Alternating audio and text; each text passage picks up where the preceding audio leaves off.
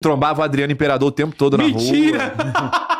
Não, tá Ia sair pra trabalhar, pra faculdade, tava ele lá de chinelão, bermuda, criançada em volta dele, era muito doido, mano. Aí eu morava lá. Então, quando eu saí de lá, eu tava aquela coisa, tipo assim, já, já fazia YouTube, já tinha saído do meu trampo. Falei, ah, mano, não quero mais ficar morando aqui. Calor do caralho no Rio de Janeiro, não tinha um ar-condicionado em casa, passava calor pra cacete. Pra gravar vídeo era horrível, perigoso pra caraca, bala comendo. Falei, ah, mano, eu quero vazar daqui. Pô, tu lembra, tu lembra aquele vídeo viral dos caras fugindo no morro e o helicóptero metendo bala? Isso é perto da minha casa, pô. No- Atrás da. Ah, inclusive é, era você que tava fugindo. é, pô. Eu fui um dos que escapou. Ainda bem que escapou, graças a Eu Deus. consegui escapar. Esse vídeo pra gente aqui de São Paulo foi aterrorizante, É, mano. Porque o Bop tomou conta, né, da, da, da favela lá. e os- Isso, era a ocupação pra pacificar. Pra pacificar. Porque tava vindo a Olimpíada, eles tinham que resolver rápido a parada, né, mano? Ia ter Copa do Mundo e depois a Olimpíada. Então, era tipo assim, mano, tem que resolver essa parada, né? Caraca. Então eles começaram a invadir os morros pra, tipo assim, cara, tem que deixar o bagulho pacificar. Depois que, resol- Depois que os eventos passar, foda-se, Você né? já ouviu barulho de tiro lá, mano? Porra. Não, não sei, pô, meu. Gor- Gordox, em 2019, quando eu voltei a morar no Rio, meu pai ficou doente, fui voltar lá pra passar um tempo com meu pai e tal.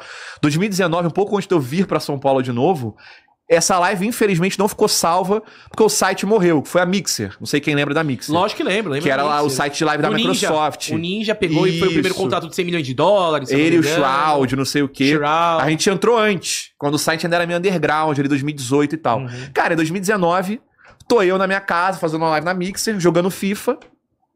Do nada. Bum! Mó barulhão. Na minha cabeça eu pensei assim, cara, estourou um transformador, alguma coisa aqui, e não foi aqui em casa. Cara, o barulho foi tão alto que assim, foi na live, a galera se assustou, não sei o quê. Mano, que que é isso? Eu falei, rapaziada, eu vou ver o que aconteceu. E aí na época. Era teu pai trocando tiro.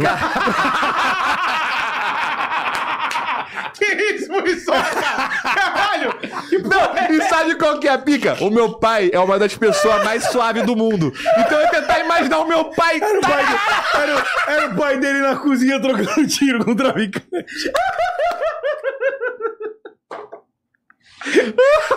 Caralho, parece que aqui em casa ele vai pra trás, o pai dele cagou aquele, ó.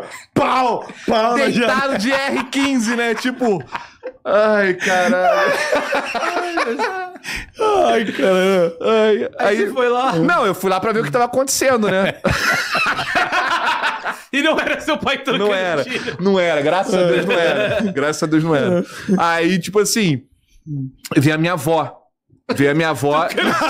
A avó dele com escopeta. Aí, aí veio a avó dele com escopeta. O que tá acontecendo nessa casa? Família louca, hein? Ai, meu Deus do céu. Famíliazinha. Rio de tá- Janeiro é correria, filho. Não tem jeito. Aí veio a minha avó e falou assim: meu filho, não vai na rua nunca explodir uma bomba lá. e a minha avó exagerada, como toda avó, eu falei: ah, mano, tá bom, vó, vai dormir e tal, não sei o quê. Aí fui. E aí veio meu pai. Tipo, eu falei, cara, meu pai é o cara mais tranquilo do mundo. Tipo assim, o mundo tá acabando, meu pai tá sentado na frente da TV vendo, vendo futebol. Aí veio meu pai e eu fui lá fora pra ele, o que, que tá acontecendo? Meu pai, não, não vai lá fora, porque acabar de explodir uma granada aqui na frente. Moleque, explodiu uma granada na rua, na, na frente da minha casa, pô. E vazou na live o barulho. Uma granada, ô Gordox. Parecia Battlefield o bagulho, pô. É muito Caralho, doido, mano. Nada, velho. É, pô. No tanto que, tipo assim, tinha um vizinho, tinha um vizinho que a casa dele não tinha garagem. O filho da puta parava o carro na frente do nosso portão todo dia. Puta. E atrapalhava um entra e sai ali, tá ligado? E aí eu falo, pô, pai, tem que ir lá conversar com ele, falar pra ele deixar o carro aqui só durante a noite, pô. Durante a noite não tá atrapalhando ninguém, não vamos também azucrinar o cara. Mas durante o dia, pô, pede pra ele colocar o carro em outro lugar, porque fica difícil. Minha avó aqui, pô, senhorinha pra se locomover, mó ruim de entrar e sair. E meu pai sempre paz e amor, não, não vou arrumar problema com ninguém, não sei o quê. A granada foi lá, arrebentou o carro do maluco, pô. Falei, agora o carro não volta mais. Ou não vai sair Fez nunca mais. pra é. casa dele, o carro fez a barricada. Foi tipo isso, mano. O carro do cara todo arrebentado. Não explodiu o carro, né? Mas digo assim, a onda de choque, tá ligado? Sim. Rebentou o carro do cara, mano. Era um Verona, coitado. Nossa. Parecia uma Brasília depois, mano. Rebentou o carro. Aí só, aí só a avó saiu lá. Só a avó dele de bengalinha olhou pro cara e falou: Falei, vai continuar deixando o carro aqui, né?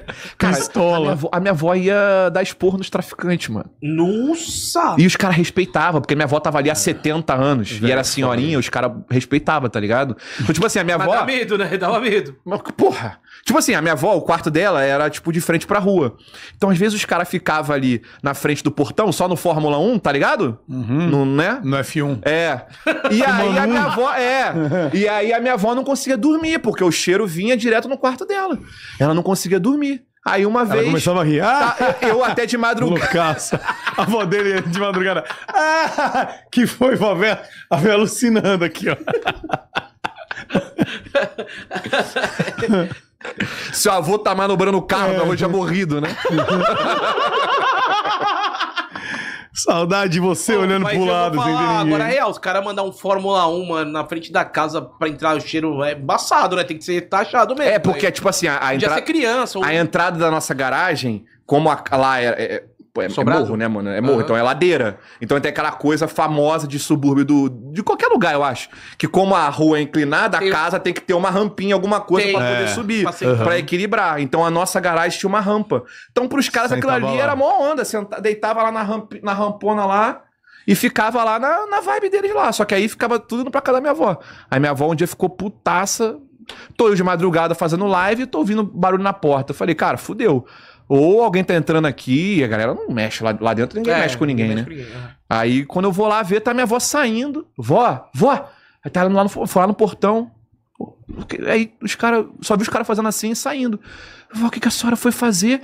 Ah, não tem como, meu filho. Esse, com esses negócios aí, esse cheiro, e esse negócio, tô ficando, ficando maluca, não consigo dormir. Fui lá pedir pra eles saírem lá.